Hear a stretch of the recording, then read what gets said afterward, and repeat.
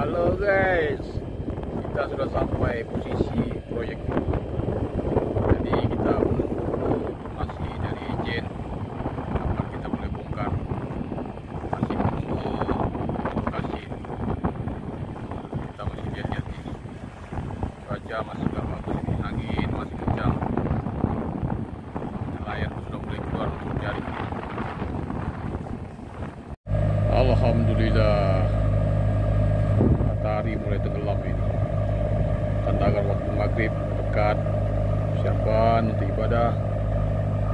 Ini banyak mesti standby untuk bongkar nih.